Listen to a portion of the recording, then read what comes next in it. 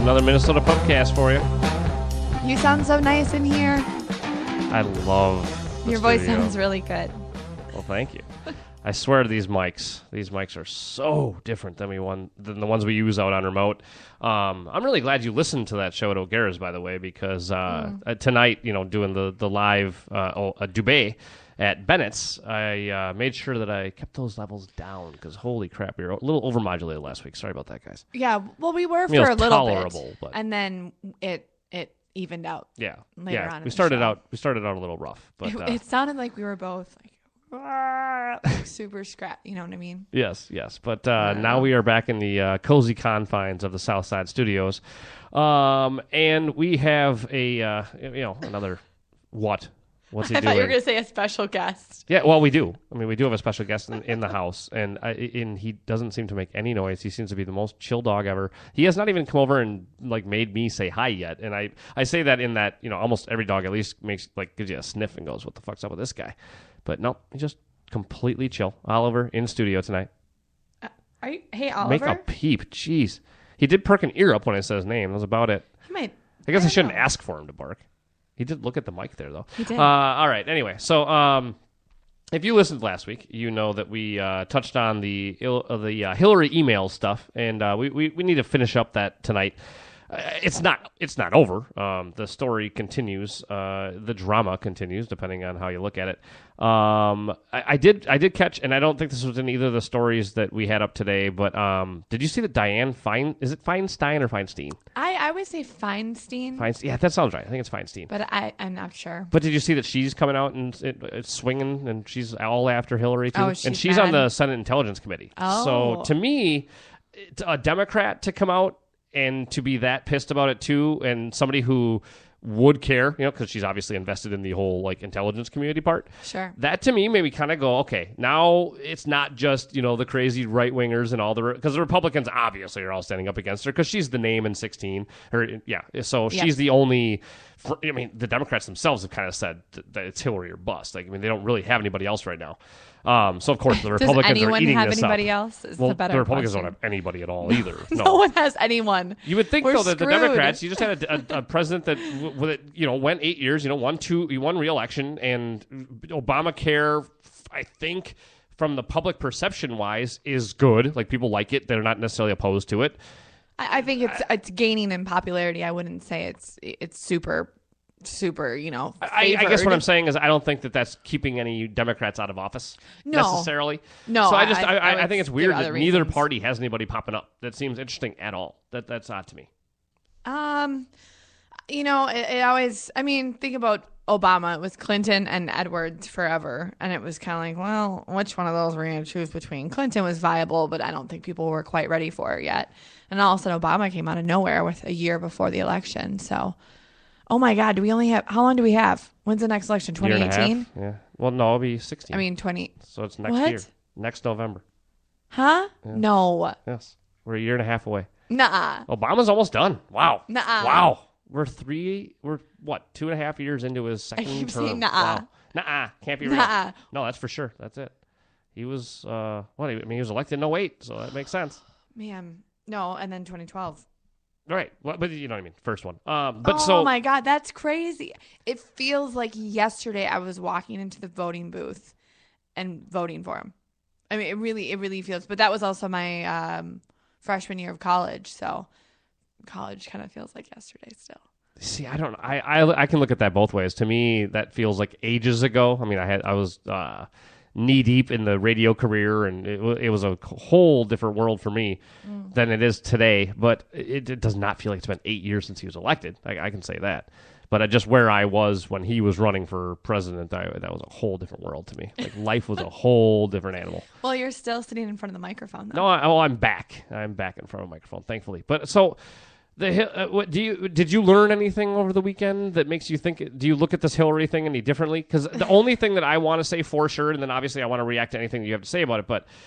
I just want to make sure that anybody out there who thinks that I was outraged last week or really upset about this, I think they're constantly lying to me and cheating and stealing and, and hiding everything from me anyway. So I don't. This was not like a revelation to me. But if you want to protect, at least if you still believe, and I, I think Molly does, but if you still think that everything's above board and that these politicians are actually, I don't think not, everything's. and I, I'm sorry, board. that's really putting words I in mean, your mouth. you're but- right. I, I, I'm, I'm not like totally. I don't know. I don't, I don't feel like I'm clouded over. Like, You still I think, the I have a system works and it matters and the Constitution exists and, And it still matters? Like, Yes. yeah, and, and I think and most people are like you. Uh, I'm not saying that you're the weirdo. I'm the weirdo. But I, I, I don't, I don't think people don't lie in office. I don't think everyone's perfectly honest and truthful. I, I don't think that's true. I just, I just, I see the best intentions in our politicians somehow. Uh, that is, that, again, I, I'm jealous of you. Well, God, I, I wish I could look at the I've- world that way. I've considered being a politician before, and I know politicians, and I just I look at them and I know them, and I, and I'm like, yeah, I don't, I don't really think you're that's your job. I don't really think you're out for some crazy ass, you know. You know what? You know what that's really like? It's like it's like cops. When you see the stuff in Ferguson or see, you know see Right. that cop in New York and stuff, it's easy to go, you know, cops are bad and I Right. hate cops. But wait, not all like, all the cops I know are cool, but but most cops suck. And like, no, well, think about that then. All the cops you personally know are all good, but just the abstract ones that you ha- you don't know and you get fed this media story, those are the ones you hate. You maybe in the politicians thing, I think you could look at it that that way too. But to me, There's always going to be bad eggs. There are going to be be people that are in it for a, a different reason, uh, that have ill intentions. Do I think that's everyone? No. well, and I think And I don't even think that was Bush. And you blame me sometimes for thinking that. I like to call you a did- Bush hater even when you're not necessarily I'm, hating. I'm not. I, I don't think he was the smartest. I think he made dumb decisions. Uh, obviously, there was a huge thing about Iraq that weapons of mass destruction did not turn out to be a thing, which is very unfortunate. Do I think that he was a total liar, horrible i- person? No, I don't. I don't. See, and I I, I really d- disagree with his policies and what he did. I don't think that he is inherently evil. see, and I guess I I think the parallel here is is maybe right on because I think that Bush is the cop too. It, it, I don't have a problem necessarily with the person that's that's policing or executing the law. It's the whole system that I have the problem with. Sure. It- it's the the reason that cops are quote unquote racist and and and there's violence towards blacks by cops isn't necessarily because cops are racist. It isn't. It's it's more the whole system has put them in this position. Sure. And I think that And the politicians are kind of. I think the politicians are actually even up to the president the same thing where they're they have a policy that's put into place before them and then you can even go conspiracy theorists if you want and say that there's people in dark rooms that tell them what to do but even if you just say no the whole system has been set up in a way that either they can or can't do certain things Right. either way to me they become just you know bricks in the wall they Yeah. don't they don't necessarily they don't have as much power as we like to give them at least I get what you're saying. I think I think part of the system is like that. I think part of the system does allow for good change. Um, like we've talked about with, with gay marriage and legalization of marijuana, and I think things are happening that are good, but there are still things that are totally run by PACs, by super PACs, by these companies and these these key individuals that have so much money, and that's who is kind of running part of the country. And so I think you can look at it both ways. In this case with Hillary, do I think that she was being dishonest? Uh, still no. okay well I, I did i saw i thought the nut graph in one of the articles The it- nut graph. you, you like that term What's a That's nut graph? you never heard that before Well, I have. I can't picture you a would have nut to. graph looks It's like. the best. Par- it's the paragraph that hits it. That, that nails it on the oh, head. the, nut, graph, the What G R A F. I was thinking to my Oh, a graph yeah, in yeah, no, journalism not- is G R A F. Yes. and yeah. and a graph. I was thinking like a pie chart, like a different way to display data. Not paragraph. Okay, but so yeah. the, the nut graph. Not graph. Uh, but okay, so and this is what I- I hadn't seen it in writing yet. I was making assumptions last week because sometimes that's actually more fun to do on podcasts.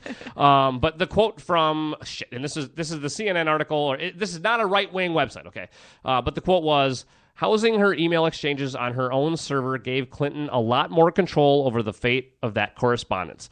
Clinton could have permanent, permanently deleted emails, for example, which to me is Mm-hmm. the whole point. I, I know you and probably most people are more worried about the security issue, but I'm just going, well, but the reason, the thing about the server thing was what messed me up was if you have it, it's not on a private server, now it is out there and we can retrieve it even if you deleted it. But the whole having your own server thing to me is the whole point of that would be so I can delete it and make sure nobody sees it. And- and what that- her motives for that it would be, I have no idea. Well, but and that, I and just that didn't like cleared that. it up as well would be the uh you know the, okay this the server if anyone you i didn't get this to begin with. And now i get it. So a server would be gmail yahoo at yahoo at If you used an outside server, correct. exactly. In your own server you would have secretary of state at hillaryclinton.com and it would be built just for you and it would all of your emails would be funneled onto your own personal server Correct. so your own personal.com So you control, and the whole thing of that being because you know they're public, because you know that the public has a right to them, Right. You could bypass that. That that's the whole thing about having your own server that I had a problem with. Again, I, I don't know what she'd be up to. I eh, eh, you know again eh, if you got you know the right wingers would be going Benghazi and and even if you want to I mean apparently Eric Holder is using a bunch of different aliases in, under his emails. sure So, and you've got the yeah. Fast and the Furious thing. So, there's a lot of things that people that can easily go, well, this is why you would hide it. And I, again, I, I think that this is where this is why I don't care and don't buy in any of this shit is because Obama ran on Bush is secretive and this is bullshit and Rumsfeld and Cheney and dirty and this is all they, they keep it behind closed doors and they don't let the American people in on it and we're going to be transparent and this is going to be a different administration and it's the same fucking thing. It's not different at all and I just wish that everyone would just go let's stop expecting anyone to ever change. Republican, Democrat, Independent, same shit. And just to put it out there, just for precedence, other Secretary of States have used their own email addresses. So Condoleezza Rice used her own. Um, Republicans have used their own email address for for everything. Yeah. For the only thing well that I as- saw that was the only uh, well the server thing, and then Yes. she never had a government one. Everybody else had a government one, and then they also used a private. Um, or and they only kind of use their own, like they use double. well, right, but but and, and here's you can attack them on this too. Is what they what they claim is they never used their personal one for official you know correspondence of the Mm-hmm. United States. Well. Bullshit. I mean, how do we know? If you want it to be hidden, that would be the, you, that's when you use that one, right? Right. So again, just my whole point is, why is anyone surprised by this? Like, just of course she's hiding her emails. They're stealing yours. They're reading yours right now. Like, what do you expect? So I, I just think that it's, and again too, and I don't know how you feel about this, but a slow news cycle. B, this is like just something. It's just fodder for the people that do just stay at this surface level. This is just something to talk about, but it doesn't really mean Well, anything. But it's but it's riling you up and it's riling other people up and it's coming up to an election and anything that could possibly be shady or even illegal, as we've said, the the the legality of this is super cloudy. Like she's allowed to have it, but she's supposed to disclose everything. And that's where it gets confusing because how do you know if anyone's fully disclosed everything on their own server, right? So I, don't think it's important to talk about. I think it's uh it this should set precedence for how we move forward with government officials and their emails. I mean, there needs to be a really strict um, kind of rules to follow, right? Right now, there's not. I mean, the government, in terms of internet security, is a fucking mess. Like, they're on all different types of servers. They're using all different types of ways to, you know, to make sure that we're that our information is secure, and it's failing. And this is just one example of how there's there's really is no set structure for how the government, um, the government's websites and emails should be set up. Well, I think you also got to look at this too. From let's think of who she. I mean, the Secretary of State. You're the top diplomat in the country. You're gonna have to have some secret correspondence. There's just no way. I mean, going back to Yeah. the revolution. I mean, you know, you're telling me there, that every paper that was ever handed between the diplomats of us and, and Britain and France and anybody else that was involved in the conflict, you're telling me there wasn't any secrets there that were that were technically under the rules of, say, the Confederation or of the British government or, or French government that should have never been able to be done that way. Of course, there were secrets, and of course, there Right. were things that, that, that had to be that, that necessarily that you wanted to be in the American in the United States interest.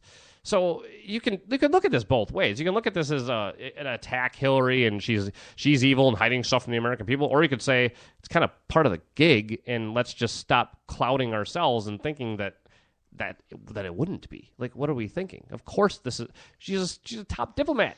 She's gonna lie to people all the time. I mean, she said no. I mean, this is her saying this, so I'm just I'm thinking here that she's being honest. I'm just taking her word for it. She said that no, um, cla- she did not use the server to send any classified information and only emailed one foreign leader from the United Kingdom during her time at state.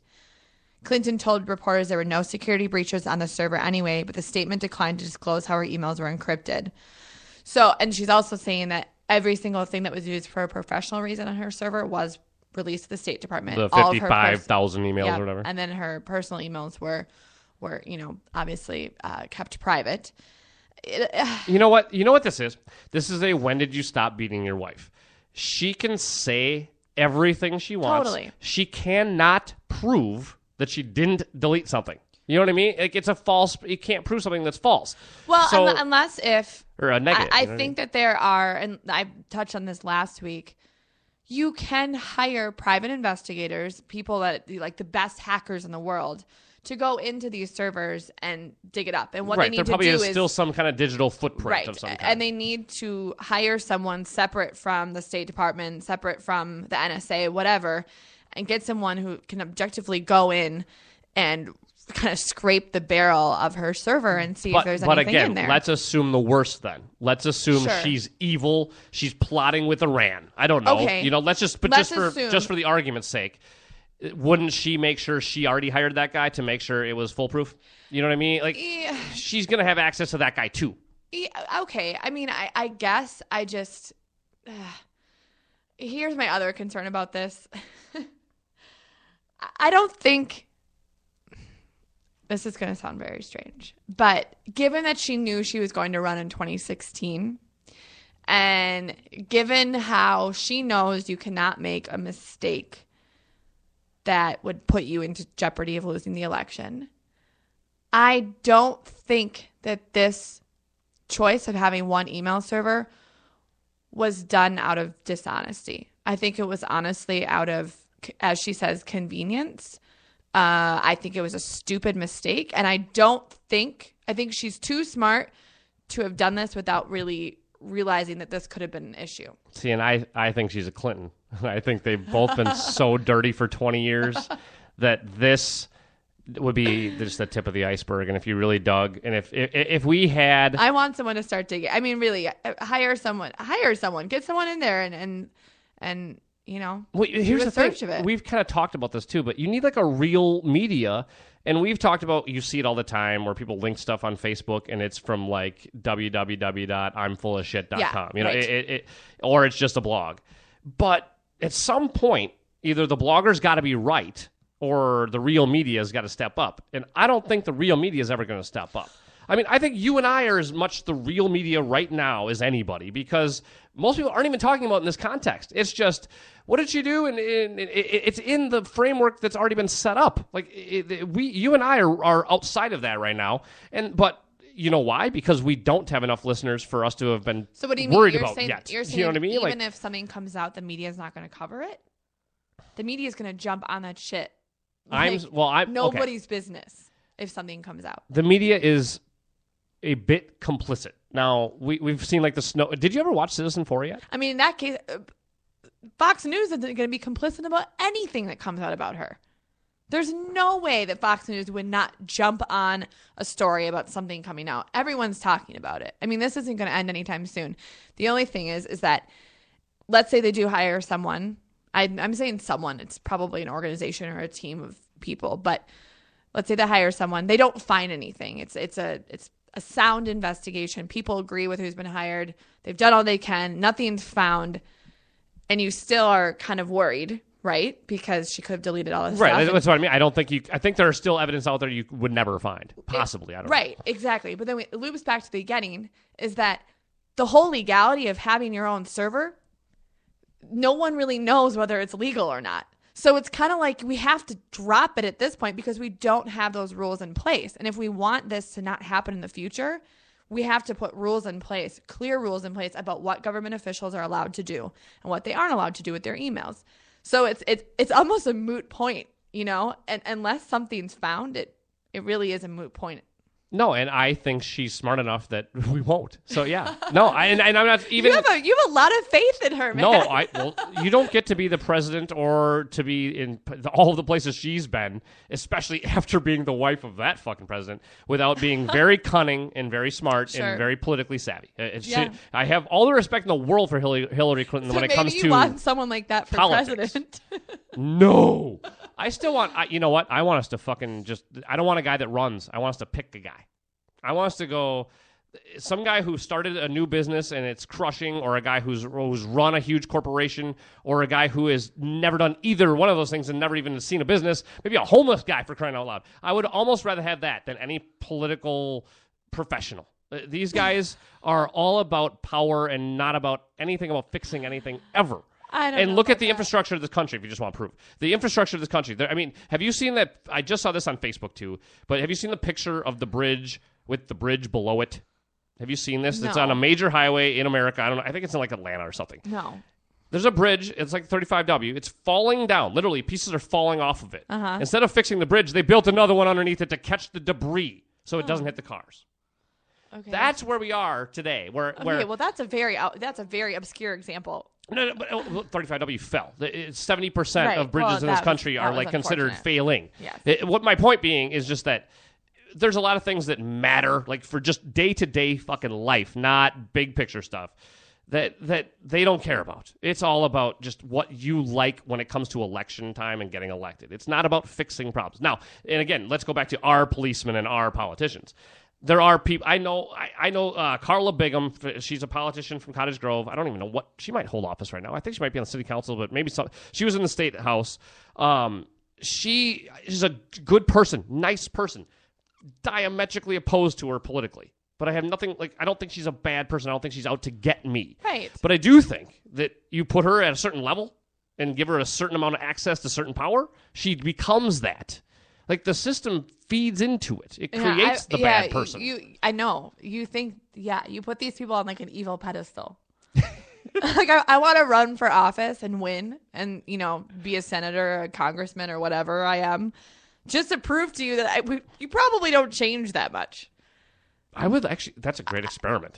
I want to see that, guys. Vote for Molly 2016. We're getting the election going right now, or the campaign going right now. Um, Oh my God, But no, I'm I mean, I would actually, I. I would love to see somebody that I truly have, have known or trust make it to you know senator or governor or something of that that stature, Mm-hmm. and see if I really go. Nope, same person. Nope, didn't change. Or, you know, 'cause- and don't get me wrong. Anyone's gonna. ch- I mean, if you give me a million dollars, I'm probably gonna change a little bit, Right. Regardless of power or anything like that. You know what I mean? Like people just change when they're put. Give me a different job, Well, I- and well, my my yeah. you know I probably change a little bit. Sure. I mean, yeah, I, I get it, but you also say that it's it's not the people that are the issue, and then you, it's the system that's the issue. But now you're saying it's the people that it's the issue, and like, you know, I think I I don't think anyone's like inherent. There are people that are inherently bad in office, but the majority of people are inherently good.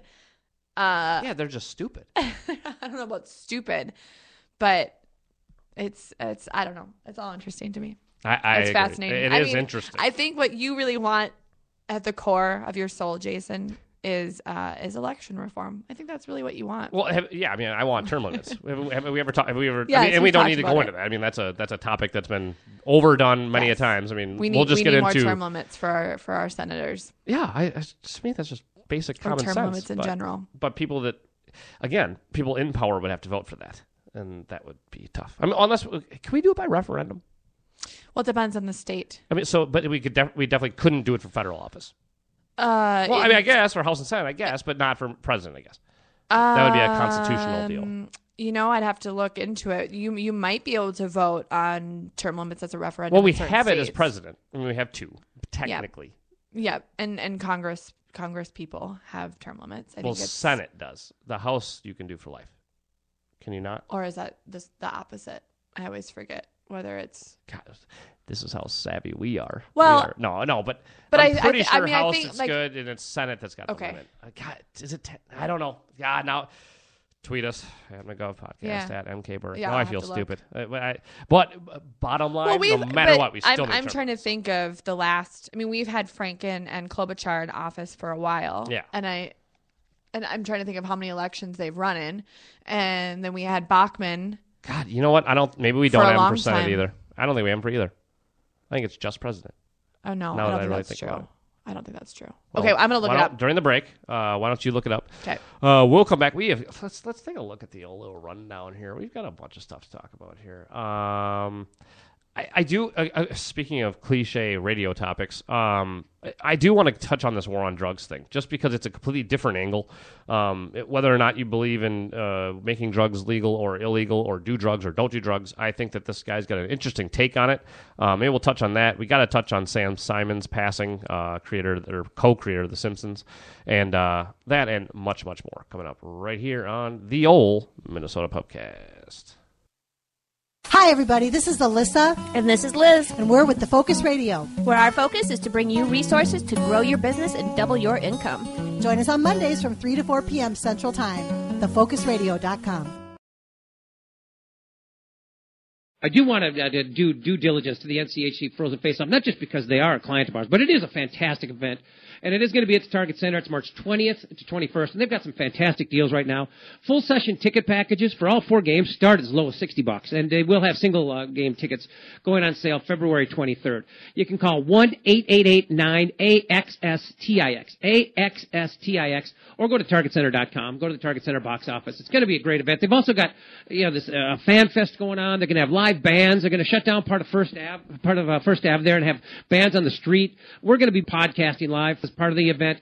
And if you are coming from out of town, which you know, obviously the, you know, the University of Minnesota is no longer in it, so most of the fans who come here are going to be traveling, uh, whether it's from Grand Forks, St. Cloud, Duluth, uh, you know, Miami, of Ohio, Denver University, whatever. You're going to want a hotel room, and obviously there's a wealth of hotel rooms in downtown Minneapolis. As, as great as a, a venue as the X was for these events, uh, you know, downtown Minneapolis has got so much more going on, so many more hotel rooms. And if you go to my Twitter account or my Facebook account, you will find a post or a tweet that shows uh, the, the, the, NCHC Frozen Face Off coming uh, March 20th, 21st, and where you can go to book discounted hotel rooms because the NCHC got together with the, uh, the Chamber of Commerce and the hotels and, and, and put together some packages where folks can get uh, get a break on hotel rooms. Just tell them you're coming for the NCHC Frozen Face Off. But you'll see the link on my Twitter account and my Facebook account. Just click on it, and uh, and they'll lead you right to uh, to discounted hotels, which should be a fantastic, fantastic event.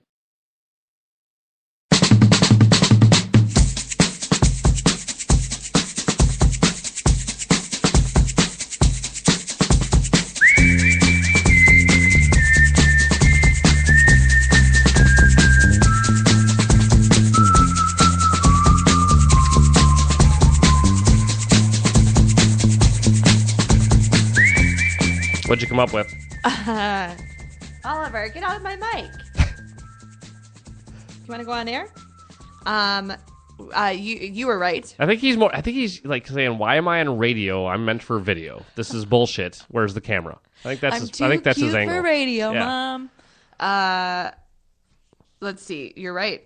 It's neither, right? The president is the only office in this country that has term limits, as far as I House know. of Representatives unlimited two-year term limits.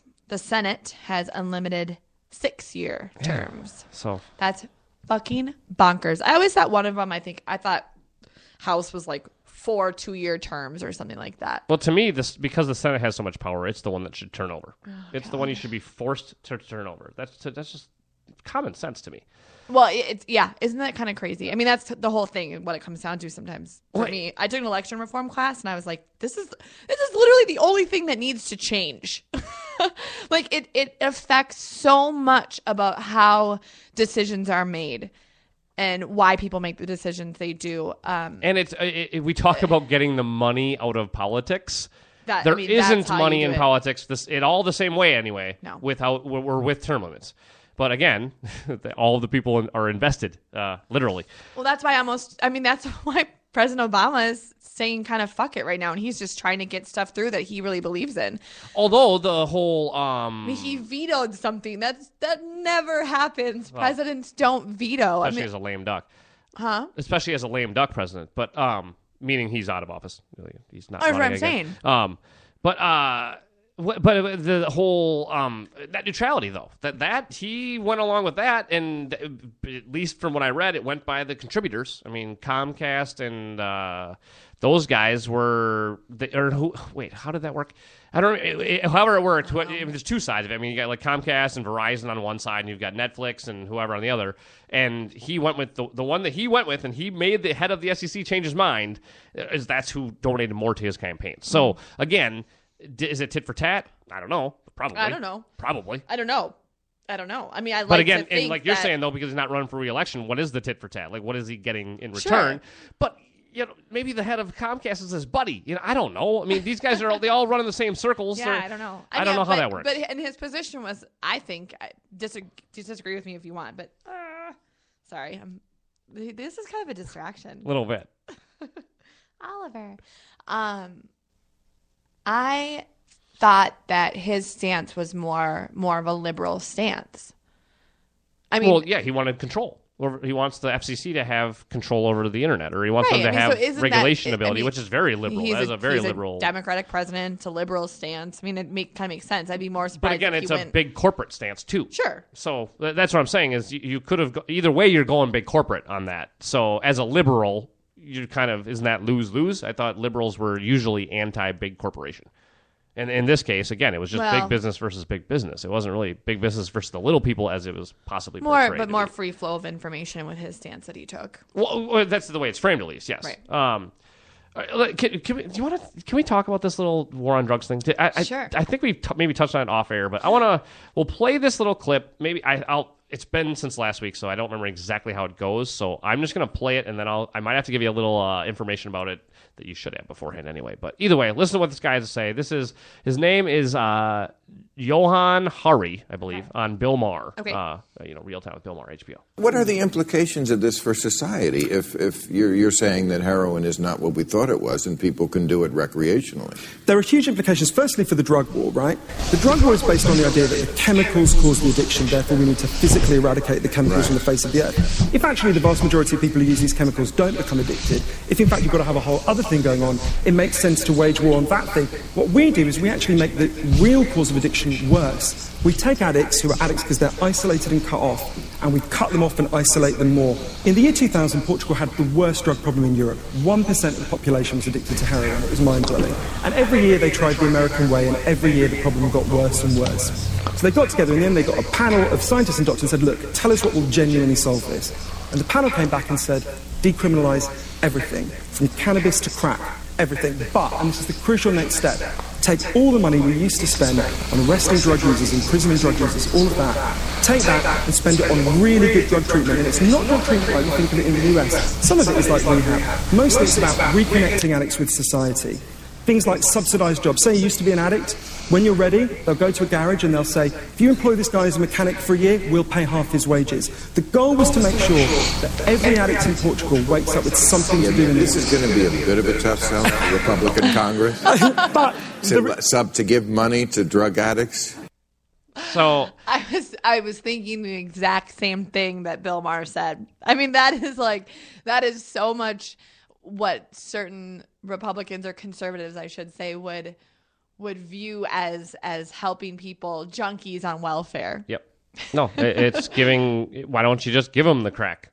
Why don't you just give them the heroin? That's the Republican response, which is so small and and short sighted and completely idiotic. Um, I, I want to. Wait, can I can I say something that I saw on Facebook today? Yeah. Speaking of welfare, a girl posted a bumper sticker on a. She went to my high school and she still lives there and she's kind of WT, as I like to say, white trash. Uh, and she posted, "The government is not your baby's daddy, but babies with B A B I E S No. without any sort of." without any sort of punctuation. I was like, you know what? If you're going to make a political statement, at least make sure that it you have the correct punctuation, the correct grammar. I- that drives me. And she was dead serious. I promise, uh, and I know sometimes in the in the heat of battle, it, uh, it's not necessarily true, but the more controversial the thing I'm saying on social media, the more times I read it. before I post it. You know what I mean? Like I'm, I'm be- correcting spelling. You I'm have looking for any to. kind of typo. I'm looking. I'm going. Are they going to get that? Should I reword that a little bit? Like if you're going to say, especially something like that, where you know it's very controversial, and a lot of people are going to come back with "fuck you." You got it. You can't have them come back with "fuck you." You can't even spell. Like Right. that. That Right. cannot be because you can't make it that easy for them. um, but so okay, so the part that that is this in this interview on Bill Maher that that he doesn't talk about before this that y- you'll kind of get now from hearing that. But there's an experiment that was quoted for years and years that as part of the war on drugs. That if you took this rat and put him in a cage and gave him water that was regular water and water that was laced with cocaine in this cage by itself, it would just drink the cocaine water until it overdosed and died Okay. time and time again. But then somebody looked at so they went cocaine's addictive, co- cocaine kills. Cocaine itself, the drug, kills, right? Sure. Which, you know, kind of from that experiment, uh, yeah, that's pretty awful. and It's addictive and it's terrible, right? So then another guy decided, well, wait a minute, let's kind of tweak that experiment a little bit. Let's take multiple rats and we'll put them in like a little environment where they have toys and, and stuff to do and, and food and, and, and, and but they still get the water and the cocaine laced water. Are they with other rats yet? And yes, yes. There's, there's the, it's a rat community. Let's okay. say. Great. Uh, and guess what? They don't touch the cocaine laced water. They might every once in a while take a sip from it, but the compulsive sit in front of it and drink it till you die thing completely goes away. So this guy's point is, and, and then he also talks about how many people take medical grade heroin in a hospital every single day. It's it's millions across the country. If you break your hip, if you have surgery, if you have all kinds of things where it takes You're a lot of you know. Mm-hmm. you take that very strong morphine. That's super addictive. Like if if I were just sitting in this room right now with the lights off, putting it into my veins, you're gonna go, holy shit, you're fucked up, and I'm probably gonna go, I need more, I need more, I need more, and I'm gonna have the shivers until I get it. You know what I mean? Like it's gonna be horrible. It's gonna be train spotting. But that doesn't happen to hospital patients. Well, it What's does. the difference? Well, I mean, there's plenty of people At what who ratio? leave, who leave the hospital who get addicted to to to their uh, has- prescription drugs. There is a drug epidemic in this country where people are addicted to drugs and using heroin and crack and all kinds of terrible drugs, right? Do we hear of much of an epidemic of grandma going home from hip surgery saying, God, I need more of that morphine? Is that an epidemic? Is that a big problem at all in Uh, the United States of I, I actually think it is because Really? most of the drug addicts I know are people that needed um, a very strong prescription drug for for their you know whatever it was I won't No, say I- but and and they became addicted to people become addicted to painkillers yes. but that's the, the the guy's point is is that heroin isn't necessarily going to be addictive it's the situation you're in first uh, and I think you could actually maybe take that to the painkiller thing because Brett Favre was addicted to painkillers. That, that that becomes a mental issue, not just a pain issue.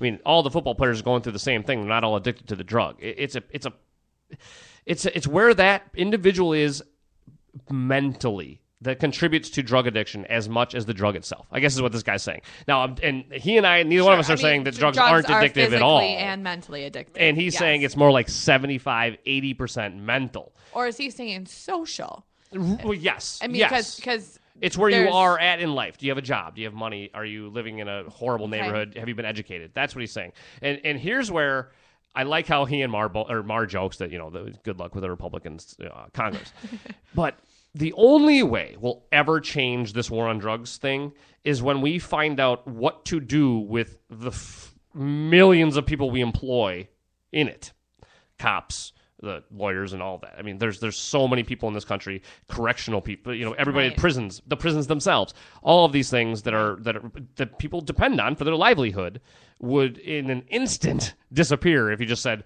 even just marijuana is legal. So, but the only way that we can figure out a way to, to get the unions and st- like, seriously, police unions are are uh, taking Colorado to court about weed. Now, I can't imagine any other reason that they would want to do that other than they have less work.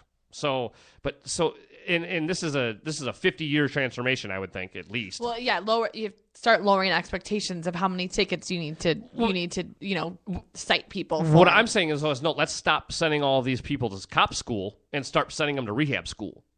Let's do what Portugal did. Take the same amount of money. I I hate how much money we spend on the war on drugs, but if because the re, the reason we don't stop it is the money. So let's take that money and transfer it to the good cause. And and listen to me, Mr. Liberal McGovern here. Let's put it to jobs. Let's put it to housing. Let's put let, us take that money and put it to things that will make these people not want to be heroin addicts and not want to do crack and meth Sure. and all that. It, it, it is a mental thing. It's it's Right. not. And I love what he said too about how Well, like it's a social thing. It starts off actually as a social activity. You kind of get in with the wrong crowd, or you're depressed, or whatever, and and then it eventually does isolate you. It isolates you from from everything that's important. And then when you make it illegal, as he said in that clip, you isolate the person even further. Yes, you do. Now you're an outcast. Now you're not part of regular society You anymore. You're bad and you're looked down upon. And so, and you can't get a job. You can't pass drug tests, all that stuff. And again, I, like I'm not even advocating for people like not like I don't want jobs to not be able to drug test their applicants. If you are an employer, that's up that's your choice. But I do think that if you want to, you should be able to do any drug you want to too. Um, but I think what, what what I get from this clip and what I get from the little interview on Bill Maher is just that our I know that our way of looking at it doesn't work, and it's it's interesting to see a decent sized country like Portugal Portugal take this radical approach and just say let's go the opposite way and legalize everything.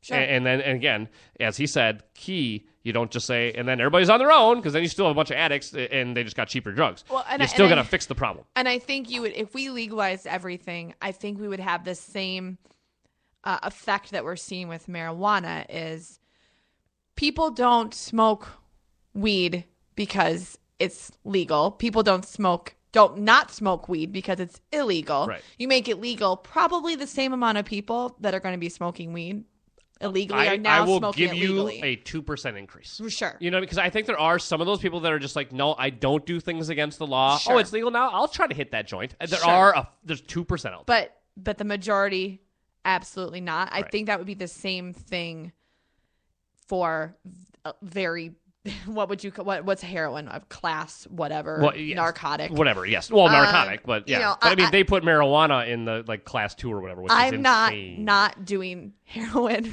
wait i'm not i'm not doing heroin because it's too many No, no, no. You were going to I say have I'm not not doing heroin, which is still correct. You were going to say it right. I know what you're trying not to sound like, but you were going to say I'm not not doing heroin because it's. i'm not illegal. avoiding heroin because it's illegal i'm avoiding heroin because it's fucking bad for you and it can kill you But I will say, and Bill Maher it can kill you though Yes, no, no, no. But Bill Maher in this interview makes it, he starts it out by saying like, so. So, so I could I could try heroin. Like, is that what you're telling me? Like, I'm I and and I okay. I, I'll be completely honest with you. The reason I've never done I've never shot anything up is not because I think it's bad for you or I might die. It's because I think I would like it and I would be addicted. Oh, see, I'm the opposite. I'd be like, And I oh, have an addictive really- personality to begin I'm, with. I'm gonna die. I would just fucking die. just leave it up to me. I would be like adventurous once, and I'd be like, oh, I'm gonna try this, and then I would just OD. You'd go Uma Thurman on the bit in Pulp Fiction, start I would- sniffing heroin. Yeah, I would. Uh, that's exactly what would happen to me, and that is that is exactly why I wouldn't ever do it. It is drugs are scary, kids. See, Don't and- do drugs. And I don't like I, I don't I I don't have this huge desire to do heroin obviously either because you know I could get it uh, as you can get You anything in the world. I could get it. Well, you can get anything in the world. Any drug in the world that you can't ban. That's like in. I don't know if I know how to get. Like, I think it would be an effort for me to try and find heroin. I can get any drug in the world in ten phone calls. Okay, well, any okay. drug in the world because Sure. through those ten, they know hundred people Well, too. So I, I boom. probably know who I could call. But that's what I mean, and everyone does. The and I don't WC think people that I know on my Facebook. I would, and I would call you a relatively upstanding citizen.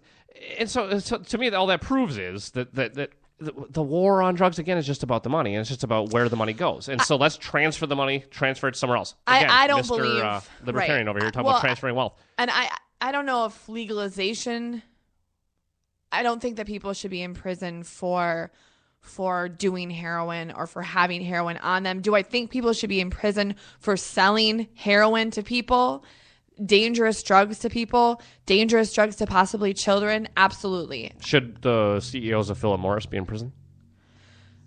Well, I mean that's that's a whole that's that's a whole I'm just saying, by morally, should they be in prison? Not necessarily constitutionally, lawfully. I'm just saying, in your opinion, are is are they slanging drugs? Are they uh no, I don't know. Okay, because I say yes, they are, but I don't have a problem No, with anyone I- slanging any drug. as as uh, bad for you as cigarettes are, you're not gonna give one person a cigarette and they're not gonna die from it. that easily happens with heroin. Well, That I mean, easily you're happens. overblowing We- that one no, time but death we are, thing. But You're we're true, it talking can about happen, we're but- talking about something that is physically, mentally much more. It's harder to quit. Actually, they've said cigarettes are just as hard to quit Uh, as they heroin. com- they compare the two. Yes. but I just I don't know. And no, my, I my think- only think- point is that right, I think I you totally can't get- I answer mean- that. Right. It's tough. Right. That's tough. I mean, cigarettes and alcohol are dangerous drugs. Yes. They both are, and they're both really not good for you. Uh, they so ingrained in our culture now that I think that people should go to prison for no, absolutely not. I don't think the people who sell them. I don't. I don't think cigarette. But See, but so okay, so maybe I don't think that drugs should be illegal, but I do think the people that sell the drugs should be. I really do see, and I, because they're not doing. I, I think what you're you're miss.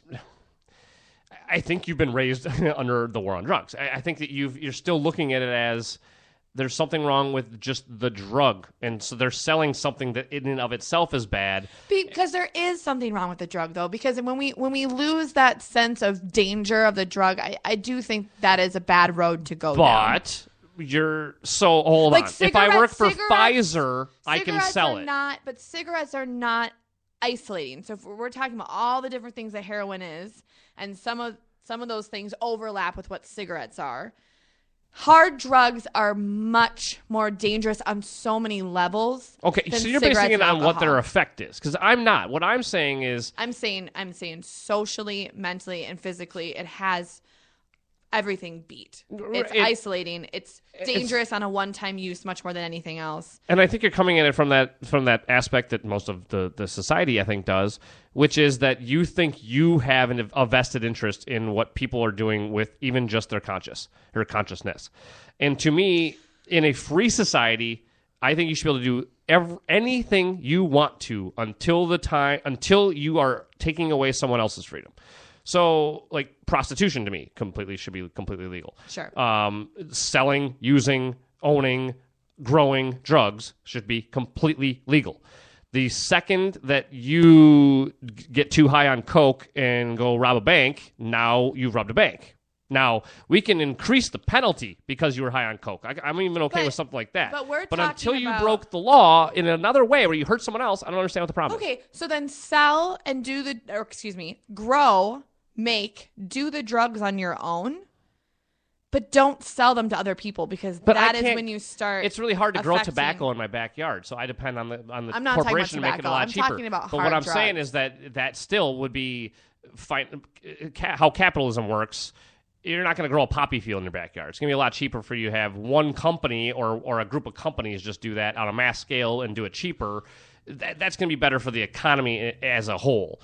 And, I mean that's just how business technically works. Now I'm totally cool too with if you just want to legalize pot. I think that everybody should be able to grow their own pot. Sure. But I guess I still what I, I guess I don't I don't think there's a problem with drug dealing. I think there's a problem with drug dealing when it's illegal because that's where No. the extra money is and it becomes about crime. making heroin legal doesn't make it any safer. So even if you're I think selling I think it, that's wrong. I think it makes it much safer. don't think it because does. now I can go to the doctor and say I overdosed No, on heroin. I don't- now I can do it under we're, guidance. talk, we're talking about no, we're talking about two different things here. We're talking about making it illegal where or legal where doctors are giving away for medicinal use, and we're talking about making it legal and people are being prosecuted for having it on them. I'm talking about minimally people won't be prosecuted if they have it on them. That's a very different thing than incorporating it into our society and like letting everyone run wild and have it be sold and have it be taxed like like weed is. I don't think that heroin it should go down that road. I don't think that there's anything. But, hold on, hold on. Aren't you against the whole war on drugs in and of itself, though? How it's working? We're all we're doing is locking up nonviolent people that haven't done anything But to that- anyone else. But I don't think whether I don't it's think heroin or pot. users, I don't think users should be locked up. I think the people distributing it should be. But- and I- but okay, wait. Users, the people that have the problem are the ones that are using it, right? And they are the ones that have should have the additional resources to get help, Mm-hmm. to get treatment, to to not be isolated any further. Drug dealers usually aren't the ones using their drugs. They're the ones just trying to make a dime off other people. Right, but uh, here's the thing. And again, guys, just go watch uh, Johann. I believe that's how you say it. Hari Johann. on Bill Maher, because he talks about this too. If you make milk illegal, it there will be incentive to guard it with guns because people are still going to want the product and the the price will escalate and people will kill you in order to sell it. And they will kill their competition because if the competition comes and steals their milk, they can't call the cops. It's an illegal product. What do you do with that milk? So the reason we look at drug dealers as these evil, gun-toting, and sometimes gangsters, even if you want to go mafioso that way on it, the reason we look at them is because there's a profit because of the war on drugs, and there's a there, there's you can't call the cops or the government to protect you because it's illegal. So you make the drugs legal, and your your drug dealers become nonviolent. They have storefronts, and you you can it, it, it becomes I guess I think you could really uh, sanitize it. I really think you do. I really think you take the people out of the ghettos and they can literally go to a place a, a, with doctors and do drugs if they wanted to. I don't think many people are going to go and do heroin, but again, in Portugal they did. And I even think he talked about this homeless man that was like looked at and revered when he died. Like, and thousands of people showed up for his funeral. And this guy was all about just how, again, it's the mental aspect of the drug user and it's it's this is bigger than hating drugs and thinking drugs are bad. This is a societal, as you said, problem that where we just need to stop shunning people, especially when they go down this road, and start going, how do we make you not want to do drugs? There is not a single person out there, in my estimation, that from my experience personally and just from what I've seen, there's nobody I know that does any drugs in a way that's harmful to them that's happy. Okay.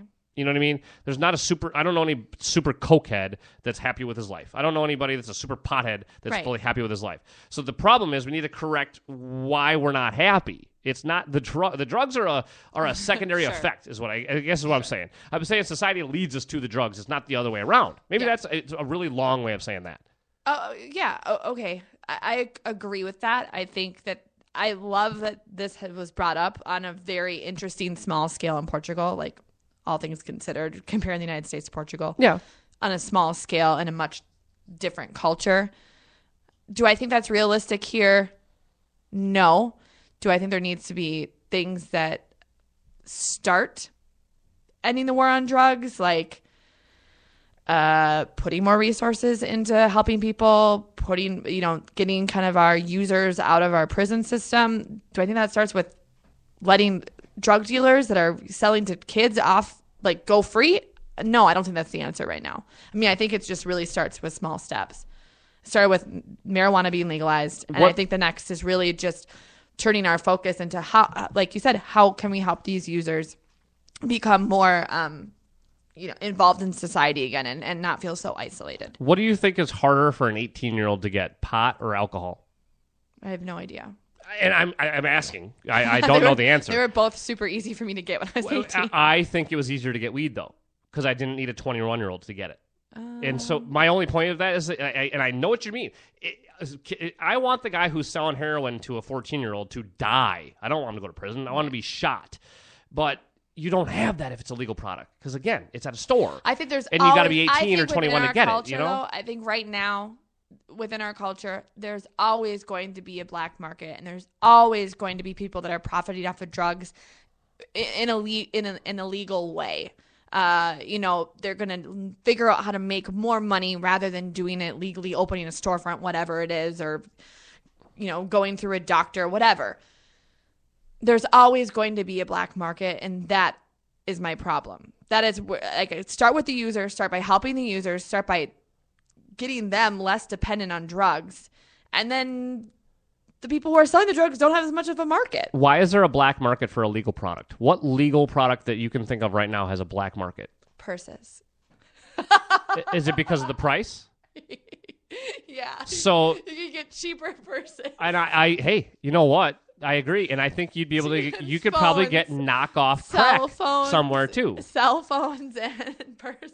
But I, I honestly, I think your quality. and guns and and uh, and firearms. You can get cheaper firearms off the black market, and more easier. Eh, Okay, then now I couldn't. I couldn't go this way with the makeup or, or with the, I mean the handbags or whatever. But I can do that with that. Is anything that's got more government regulation is going to cause the price to go up, so that will create a government or a black market. That is Yeah. true in anything in any product. Yeah. But if you make drugs just straight legal, like I say, and it's anyone can grow, anybody can sell anything. The prices will be rock bottom. It would be. I don't know how you would get them lower, other than and I and did we talk about this, or was I talking to a buddy about this this weekend? How the fuck does weed still cost sixty dollars an eighth in Colorado? How it's fucking legal. I understand why. I mean, going to it, going if to you go to a dispensary, it's 60 bucks an eighth, which is what it is on the street in, in Minnesota, right? So this doesn't make sense to me because the guy in Minnesota is risking his freedom to sell it to you. You know what I mean? And then the guy that sold to him is risking way more because he's got pounds of the shit. You know what I mean? And and then it escalates as you go up. yeah. They're selling it for 60 because they're and that's to cover the risk. Why is so and so corporation in Colorado? Why doesn't it cost ten bucks an eighth? I, I have- don't understand. I have how, no idea. Well, and- because they because people will buy it for sixty and eighth, and, they're used to buying for Yes. sixty and eighth, and so they can make like Yes. come on. But uh, I, I'm, yeah, don't get me wrong, I'm and not it's stupid. not that easy to open a dispensary in Colorado. There are a lot of loopholes around Thank- it. So. That's where I was going. The only reason it was allowed to be legal was Yeah. the governments and the corporations figured out how they could run it first. Sure. They went, okay, we'll just have three of like in Minnesota, what you have like two or three companies allowed to make the pills, and they're like, okay, well, you know, you're already in bed with us. You probably paid us to get the rights in the first place. You know what I mean? Like it was so dirty to begin with, but uh, to me, uh, the fact that they could keep that price as high as they did was uh, it speaks to how ingenious they are when it comes to business, really, because like, like there's there's there's no anymore. no, there's not a risk anymore. Let's take a quick break. Uh, we'll wrap it up with whatever Molly wants to end the show with. What? The Rusty Gatenby Review is the entertaining show about entertainment from movies, music, and more. Award winning TV guy Rusty Gatenby and his review is the podcast with the biggest cast in entertainment, part of the Alive and Social Network. You can get that Minnesota connection to Hollywood and beyond any time of the day or night simply by clicking on the Rusty RustyGatenbyReview.com. That's the Rusty RustyGatenbyReview.com, part of the Alive and Social Network. Hi, I'm Terry Daniel, and I've been a voice actor in Minneapolis for over two decades now. How often are you getting compliments on your voice? Now is the time to do something about it. If you're interested in getting into voiceovers, please contact me via my website at universalvoicetalent.com.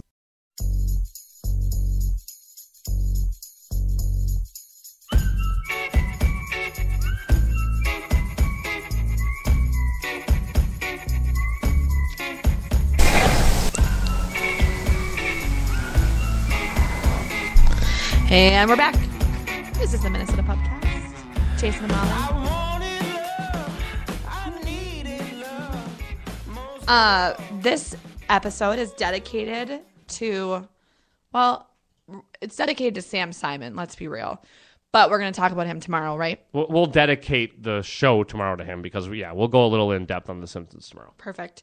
And if you haven't listened to it yet, uh, after you listen to this show, make sure you go listen to Marc Maron's uh, Remembering Sam Simon. He has a really great. How was that? I didn't listen. Really, to it. really good. It was actually it.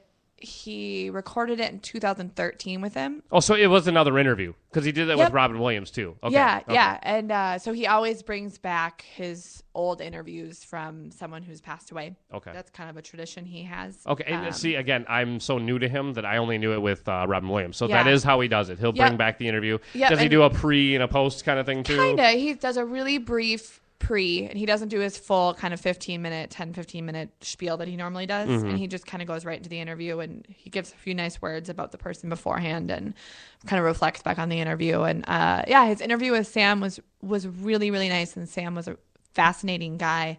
Uh, and they had never met before. It's kind of fun to hear Marc. It's it, Marc has guys that he's known forever, like Louis C.K., and they have a history. So it's fascinating to hear that.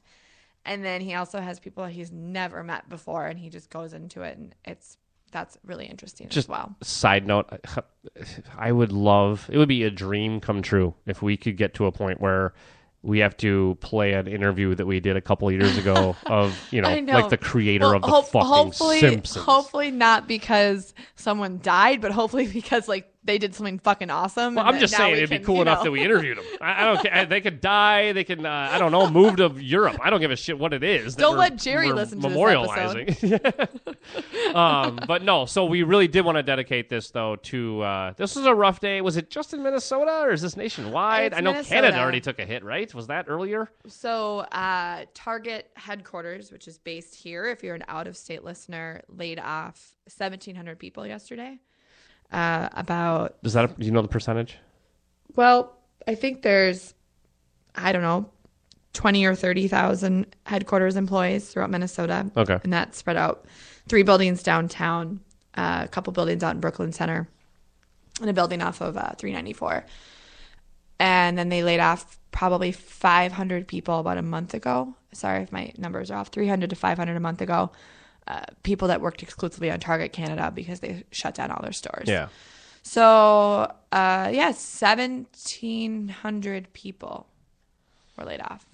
And that sucks a lot. Uh, it's a huge, hu- I thought Target was one of the corporations that was doing all right. you well, know? I, I, you know, I think from a stock perspective, they are, they are, there were a lot of people there that, um, I don't know, it was just disorganized, and I think that this new CEO has kind of come in and and tried to streamline things, and we'll see how it works. I mean, there's gonna be a lot of people out looking for jobs in the Twin Cities, so hire, hire, hire. If anyone is looking that is in media or writing or marketing or whatever, just uh, tweet tweet at me, MK Burke, because I've been I've been around the writing world for a little bit. so- Uh, and you know what? Actually, I do know a job recruiter too. So get at me too. If you are one of those guys looking for something, I can put you in touch with a gal that uh, will put you in. And I'm not talking about bullshit jobs. I'm talking about management, upper management jobs. She's uh, she's a headhunter, really.